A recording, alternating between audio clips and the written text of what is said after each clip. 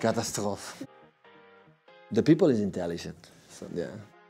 Well, Barcelona is my, my home. I was born there. I grew up as a like a football player, then I became a coach there. So it's, it's part of my, my, my life. How much are you able to enjoy the new chapter? How much of it is just stress? I am a lucky guy to, to be here, to, to give me the, the, this, this opportunity. I will try to do my best. I did my best in Barcelona and I will try to do here and, and after we will see.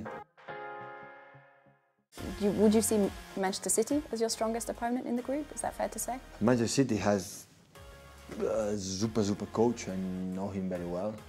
Pellegrini. The director of sport, Txiki Begiristain, was the more special person in my life. Uh, he gave me the, the challenge to train in the second team Barcelona and after, and after that and the first team and I think is the smartest guys in, in football around the world. Because City have struggled in the Champions League, so you expect that now to be different?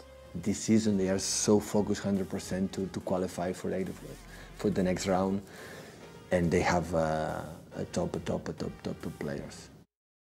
What do you think about the English teams in general? How do you expect them to fare in the Champions League? Normally when, when the English team don't arrive in the semi-finals or finals, say oh, the crisis in the Premier League, and when that's happening in Spain, the Spain is down. When that's happening in Germany and don't get to the quarterfinals or semi-finals, the people say, oh, the football Germany is not good, so that is normal. But in my opinion, in, always the English team, the Premier League is always top. What about other teams in the Champions League? Who do you, do you think could be a surprise package?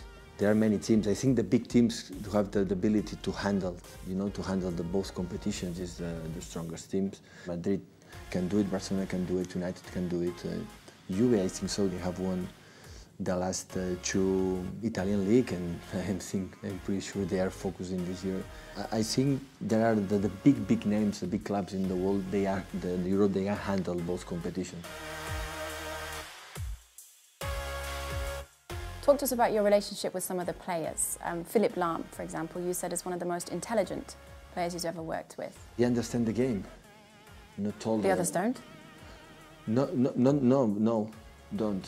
A lot of players stand his position mm -hmm. so well. Philipp can, can play in all positions. That show me how intelligent uh, he is. Football is a, a game on the people move and you have to decide in one second and what's going on in your position and all around the, the, the field. And he decides the right moment you must run.